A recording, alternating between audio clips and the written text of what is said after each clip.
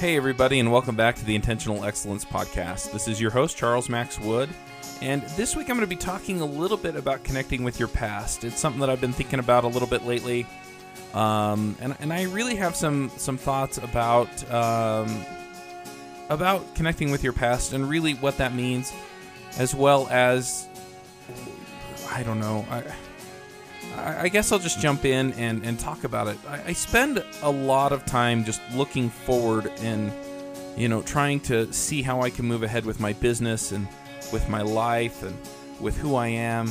And it, it's interesting that, well, anyway, last week my mission president, now, for those of you who aren't familiar with um, LDS or Mormon jargon, let, let me explain really quickly. Um, in the LDS Church, um, and and I'm going to use that term. That that's usually what we prefer to be uh, known by, as opposed to Mormons, though we don't find the term offensive.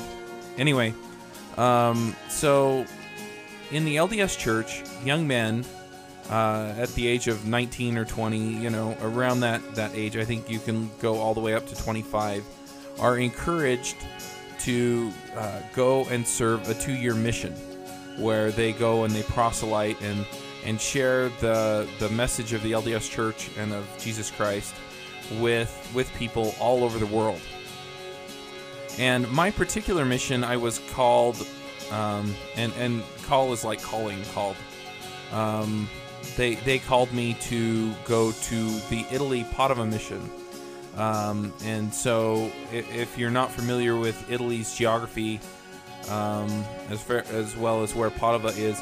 Basically, if you think about it as uh, you know everything in the northeast uh, of Italy, um, all the way west to about uh, Verona or Brescia, and all the way down south uh, to just past uh, Florence, um, was in my mission. And so I, I served in a few cities. Um, you know, you move around from city to city. Anyway, each each mission has a president, and uh, that that president directs the missionary work in that mission, and uh, you know serves as our uh, religious leader, so to speak, uh, uh, for the missionaries anyway for for those two years. And uh, you know we're assigned out to cities, and we work with the people there, and we work with the church units there, and you know we we help train the leadership, and we help teach the teach new people and bring them into the church. And anyway, it's it's a very very rewarding and um, valuable experience for uh, for the the men that and women who go and serve. Um, young women are also invited to serve. They can serve after they're 21. Um, the women are generally encouraged to marry if they have the opportunity, but you know aren't discouraged necessarily from serving a mission if if that's what they wish to do. Anyway, so um, the mission president um, my mission president is now a general authority in the church. Uh, the mission presidents usually serve for about three years. And uh, as a general authority, he has been assigned to go and work in Ghana. Um, and so he is going to be leaving here in a, in a couple of weeks. And so he wanted to see us all because he's going to be there for a while. And usually there are reunions or get togethers, you know, every six months around the church's general conference where he'd get to see some of us and you know he's not going to be around for it. So he thought he'd invite us all out. Um, and they've been back for 10 years. I've been back for about 10 and a half years. I came home about six months before they did. And he, he and his wife and uh, you know and they had two sons out there with them at the time. Anyway so i uh, i'm explaining this so that i can go into what went on and so that you can kind of explain what what what, what happened. Um, but anyway, so he invited everybody out to his house. Uh, he lives up in Salt Lake City. And uh, you know everybody brought a little bit of food, and you know we, we all kind of caught up. I mean there were there were people there that I literally hadn't seen for ten years, and the funny thing is is that a lot of them live around here, so there's really no reason other than the fact that I didn't know where they were.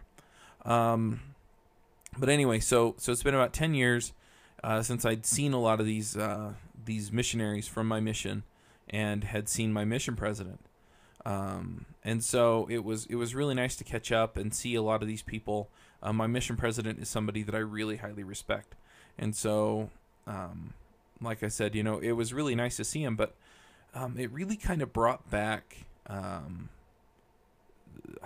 it, it's not just a memory. It, the, you know, it, it kind of revived part of the person that I was when I was on my mission, and really made me think about uh, my past and, and you know where I've been and what I've learned and I, I usually just I don't think about that. I don't I don't think about high school. I don't think about my childhood. I don't I don't you know I don't I don't think deeply about these things and and and think about where what I learned and where I've been and you know uh, some of the lessons I guess I keep learning the hard way, but you know it, it really brings back that that person of who you are and and what's important and you know really forced me to kind of realign some of my priorities. Um, there's a part of me that I ignore uh, in a lot of cases that I really oughtn't ignore, and it, it's that person that you know really has that deep conviction that uh, the the Church of Jesus Christ of Latter Day Saints or the LDS Church, you know, really is uh, led by God, and not not just that, but you know that that person that has that deep conviction that drives every part of his life.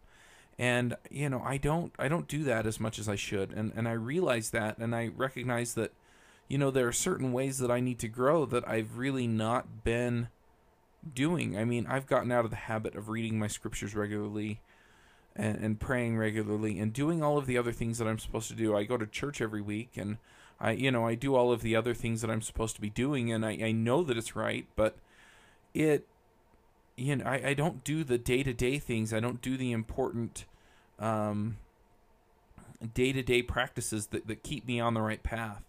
And it it really really just drove that home and and made made me really realize that it's not just important where i'm going and it's not just important what i'm learning but it's important who i am and who i'm becoming and and so you know it really you know, kind of made me think about that. And, you know, I've thought about some of the other parts of my life, you know, with my childhood and, and, and my, you know, I'm, I'm pretty ornery adult and, you know, just things like that. And, you know, where, where I grew up and, and the, and the people that influenced my life. And, you know, I had a dream about it last night. It was really weird, but, you know, where we were out there lighting off fireworks. And anyway, it, it was quite a bizarre dream. But anyway, um, it was it was interesting to to kind of connect with that part of my childhood. I I grew up in Orem, Utah, um, which is a, a city just north of Provo, Utah, if you know where that is.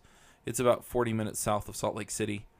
And I went before I was 12, we lived on this street that I, I literally could tell you um, who most of the people were that lived on that street.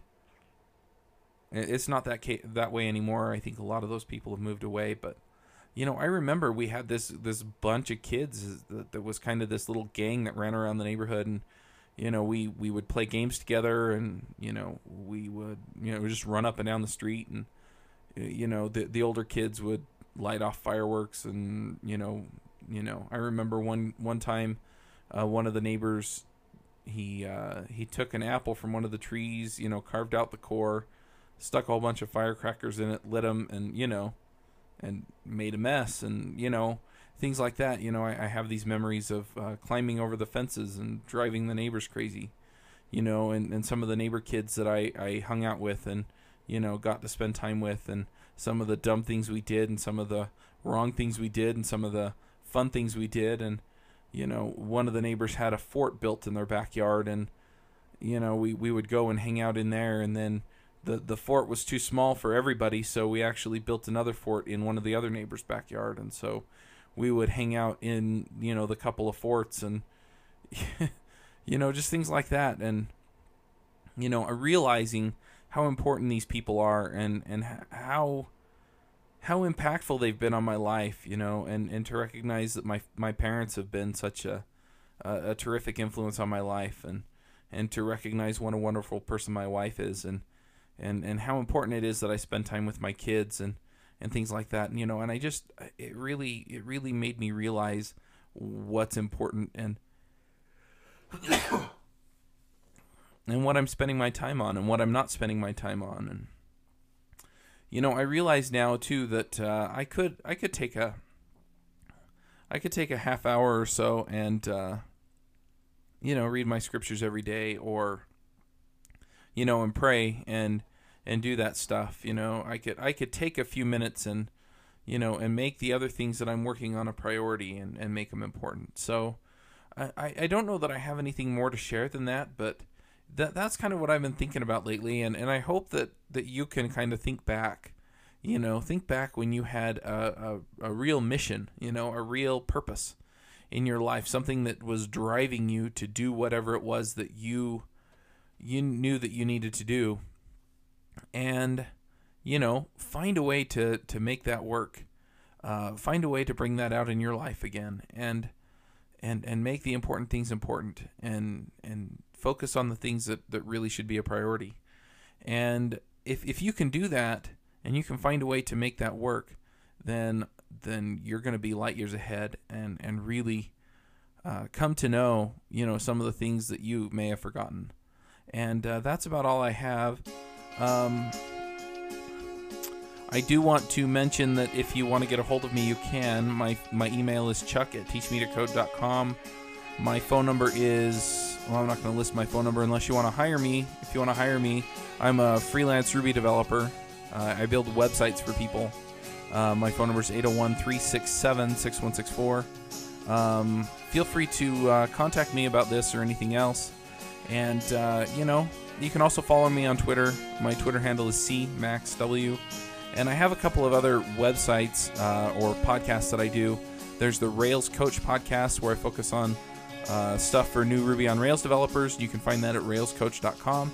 You can also, uh, I discuss with a few other guys every week uh, stuff related to Ruby and programming on rubyrogues.com. That's R U B Y R O G U E S uh, .com, and you can find interesting discussions there on that stuff.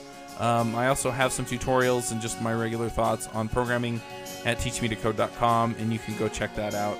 Um, other than that, I hope you have a great week. I apologize for not recording last week. I wasn't feeling well, and uh, you know, hopefully we can catch up next week, and I'll have something maybe a little deeper to talk about. Um, other than that, have a great one, and uh, we'll see you later.